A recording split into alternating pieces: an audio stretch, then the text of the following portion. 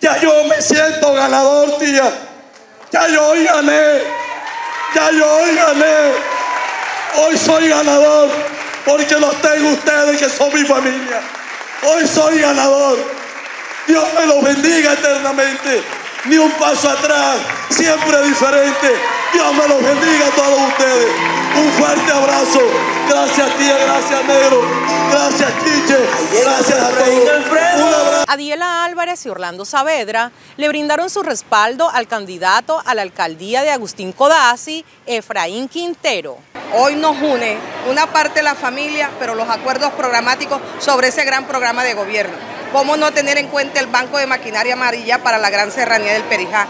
Tener en cuenta de renovar los cafetales, tener en cuenta nuestro campesinado y sobre todo la inversión en la educación, en la placa huella, en la salud. Eso requerimos. Esos fueron los acuerdos que hoy ratificamos ante este gran movimiento que se llama CODASI Potencia de Vida y Desarrollo Socioeconómico. Seguimos, seguimos deponiendo nuestros intereses personales y por ende bajamos nuestras aspiraciones a la alcaldía del municipio de Agustín Codazzi. Inicialmente hicimos pues la alianza con la doctora Diela Álvarez, a quien le deposité toda la confianza para que pudiera seguir avanzando en la búsqueda de nuevos aliados que nos permitan convertir este proyecto en un proyecto totalmente exitoso y eso es lo que hemos hecho en el día de hoy. Agradezco a toda mi familia, agradezco a los amigos que han creído este proyecto, como lo es el Negro Savera, lo es el Nuevo Clavijo, es toda la familia Yupa. Por supuesto que la recibo con mucho entusiasmo, pero con mucha responsabilidad. Hoy comenzamos un camino hacia el 29 de octubre para consolidar este proyecto y ganar la alcaldía este 29 de octubre y generar esa transformación social que mi tía les comentaba, esos grandes empleos en cabeza del Negro Savera, que ha materializado el tema del emprendimiento muy bien y que lo vamos a seguir construyendo. Que vamos por nuestra serranía del Perijá a llevarle desarrollo y a llevarle también a toda la comunidad indígena, por supuesto, bienestar social. A esta unión se sumó Enot Clavijo, perteneciente a la etnia Yupa, quien aspira a repetir una curul en el Consejo Municipal.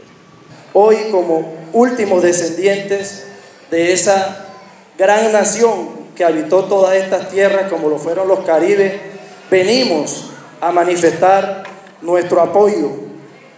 Fueron semanas en las cuales eh, se divulgaron muchas cosas de qué rumbo iba a tomar el pueblo indígena Yupa frente a las elecciones que se avecinan este 29 de octubre. Y déjame decirte, Fray Alfredo, que después de varias reuniones en la comunidad y de un análisis minucioso de las hojas de vida y de los programas de gobierno, no hay duda que Efraín Alfredo Ternera es lo que Codazzi necesita. Tiene el mejor perfil para gerenciar en este cuatrenio que viene. Hoy, Efraín Alfredo, venimos a hacer un compromiso serio, un compromiso, un voto de confianza que te vamos a dar y manifestarte que siempre vamos a estar ahí apoyándote tus buenas iniciativas.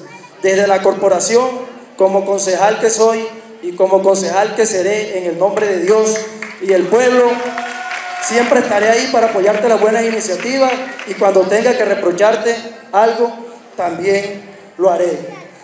Decirte, Efra, que cada una de las personas que hoy están aquí tenemos una esperanza, queremos un cambio y tú representas ese cambio que Codazzi necesita.